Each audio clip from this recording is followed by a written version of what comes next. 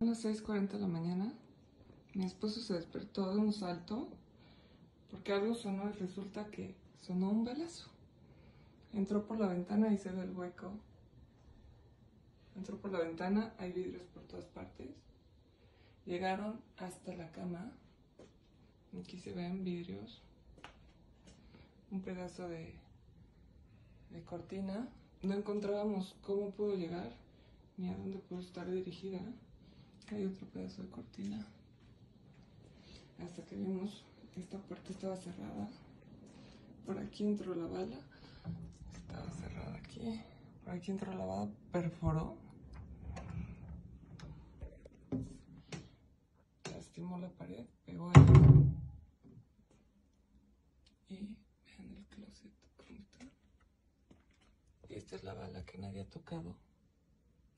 Para ver una referencia en mi.